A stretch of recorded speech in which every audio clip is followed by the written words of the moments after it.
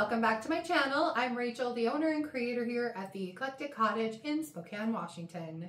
For today's video, I pulled more items out of my stash in my kitchen and actually a couple things out of my stash in my garage at home and gave them some makeovers for spring. They all turned out really cute. I can't wait to show them to you. And so without further ado, let's get to today's projects. Project one is technically three projects, but I am going to be painting all of these guys with the same color and finishing them with the same wax. So I am just going to go ahead and group them all into project one. I am painting these guys with DIY's beautiful dark gray called Old School. I absolutely love this color and I am painting them all the same and finishing them the same because on Pinterest I keep seeing pictures where uh, for Easter they have a lot of white blossoms and then kind of concrete and uh, galvanized metal and I think it's such a pretty look and I really wanted these guys to kind of portray that look a little bit. So I'm going for kind of a concrete look uh, and so that's why I'm starting out with this dark dark gray uh, on these birds and, and bunny. So I'm just giving these each two good coats of this old school.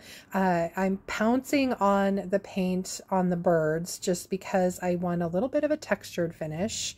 And then for the rabbit, I'm just using a smaller brush because he is so very detailed uh, that I had to work the paint kind of down into all the cracks and crannies on him.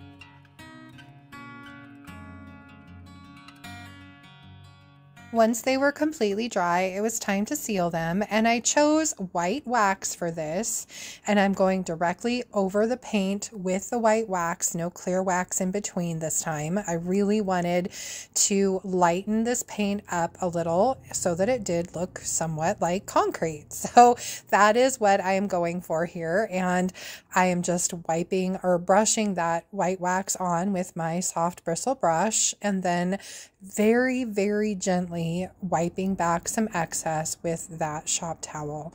Now, the thing is, you don't want to rub too hard, otherwise, you will end up rubbing your paint back off of your piece. Uh, the birds weren't so bad because they were kind of a porous uh, clay type material, uh, but I had to be especially careful on the bunny. Uh, for some reason, the uh, paint was a lot easier to wipe off of him, and there were a couple spots spots where I ended up going back in with just a little bit more of the old school color uh, to touch up a couple places and then very gingerly uh, putting a little bit more white wax over that to seal it. Now, just a reminder that I do carry these beautiful paints on my website at www.theeclecticcottagespokane.com, as well as the full line of their waxes, top coats, and all the other goodies. I absolutely love how these little animals turned out. They will be a great addition to my spring displays.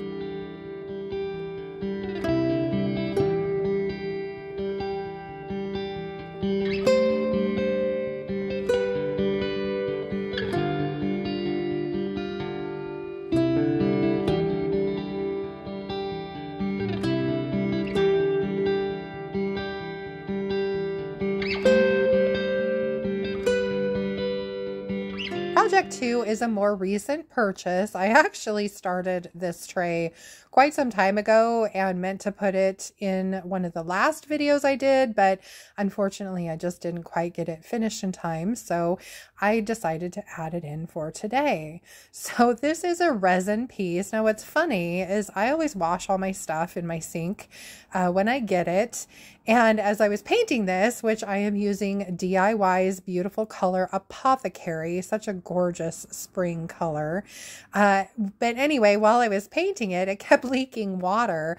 And I realized there was just a little bitty hole in this that must have soaked in some of the water when I washed it. And so I actually had to sit and shake, shake, shake this thing to get all of that blasted water out so it stopped leaking on me so that I could finish up my painting. Anyway, I just thought that was kind of a funny story. So I gave this two coats of the DIY's Apothecary, and then once that was completely dry, I did go in with some 220 grit sandpaper and do some distressing. I just really wanted to bring some of that beautiful detail out in this piece. Then it was on to decoration. And for this, I am using up more of the transfer set I had on hand called Mystic Hydrangea. This is from Redesign with Prima. I thought these would be a perfect complement, not only to this tray, but they'll go really well with the two little pots that I recently did with the uh, lilacs out of this set. So I just picked out my transfers, cut them out, figured out where they were going to go, laid them down, pressed them into the paint, and then using the transfer stick, just rub, rub, rubbed uh, the transfer down while I took that piece of vellum back. This is such a simple process, and yet you get such a fantastic result using these transfers. I absolutely love them. Once I had all my transfers down, I did go ahead and burnish them, which I completely forgot to film again. Uh, and by burnishing, what I mean is taking that piece of vellum right there that I have in my hand and rubbing that over all of the transfers, basically to make sure you've got great adhesion and that you don't have any air bubbles in your piece. Then it's time to seal my paint. And for this, I chose DIY's Big Top. It's a very durable sealer. So if somebody wants to use this to put uh, candles or candle holders in, it should stand the test of time. I love how this came out. I hope you guys do too.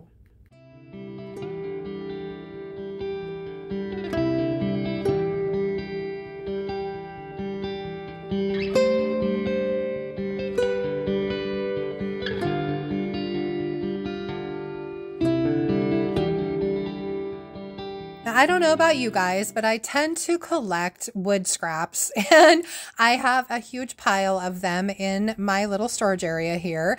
So I decided to grab out a couple pieces and make them into signs for spring. I started by painting one of the scraps in this beautiful blue called Prom Queen by DIY. And the other one I am using Crinoline by DIY. So I gave them two coats over the dark portion and then one coat over the back.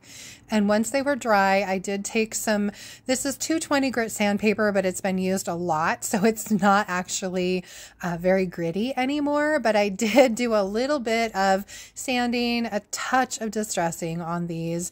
And then I moved on to my stamps. For the stamps, I'm using the set called Alpha. It's by Redesign with Prima. It's great because it has uppercase and lowercase letters. Uh, and for this first sign, I am doing Hello Spring. So I laid out my stamps where I wanted them uh, picked them up with a piece of backer, and then I am inking them up with StazOn ink in black, and then just stamping those onto the board. Once I have my hello done, I had to actually go in with the L a second time, and then I put out the word spring, uh, picked those up again with that backer board, just kind of using those marks on it as a guide where I wanted um, the top of the uh, letters to be and then inking up my stamps.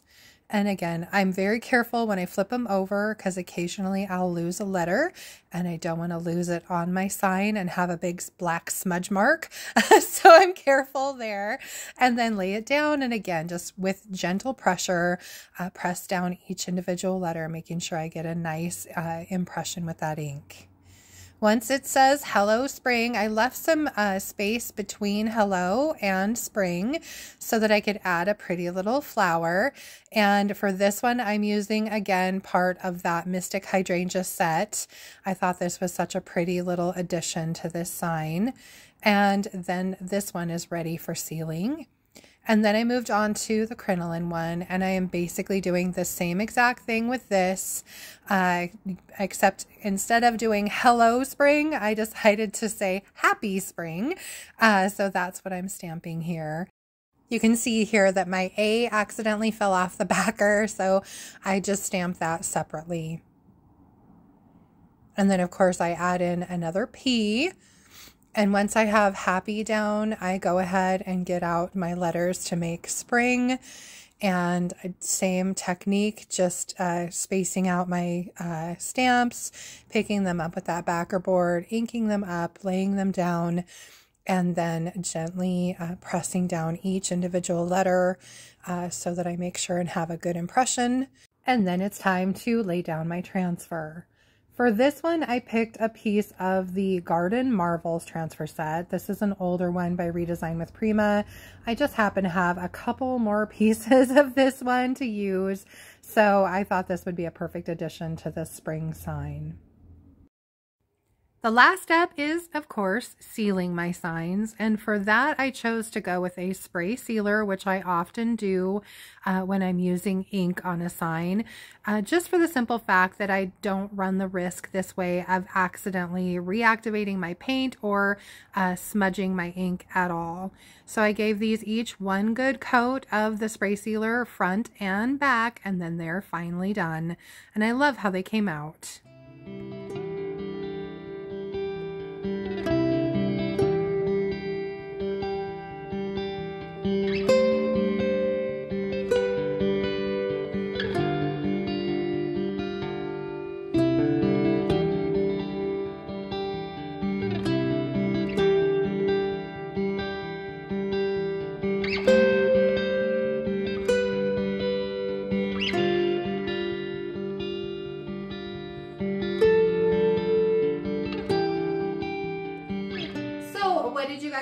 My spring makeovers for today. I hope you liked them and I hope you enjoyed the video. If you did, please remember to give it a thumbs up. I so appreciate that. And if you haven't already, I would love it if you would think about subscribing to my channel and then just hit that little notification bell so you don't miss anything. And then don't forget to drop a comment below and let me know which of the projects today was your favorite. For Tuesday's video, uh, I am working on a little cabinet that I got off of Marketplace, and I am hoping to have that finished for Tuesday, so I hope you'll join me for that video. I was really hoping to get more done, you guys, but in all honesty, today is my 50th birthday and I have had some people stopping by and a few phone calls and I just really haven't gotten much done. So it is what it is at this point. Uh, but I hope you'll join me for the cabinet makeover on Tuesday. As a reminder, I just wanted to let you guys know that the paint and products you saw me use today can be purchased through my website at www.theeclecticcottagespokane.com. Just look on the top menu. There's a little thing that says shop and that'll take you right into my store. I carry uh, the DIY paint and products, Sweet Pickins milk paint, uh, Roycycled Treasures decoupage paper, as well as some redesign with Prima items. So please go check those out. I so appreciate your orders. They're what help keep this little business of mine afloat. I appreciate it very much. Anyway, I hope you guys have a great weekend. Uh, I am going out tomorrow night with some friends to celebrate my birthday.